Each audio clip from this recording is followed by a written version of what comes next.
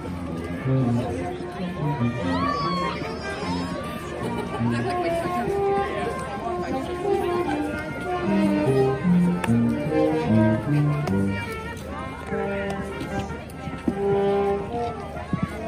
just uh, waiting to die. Mm-hmm.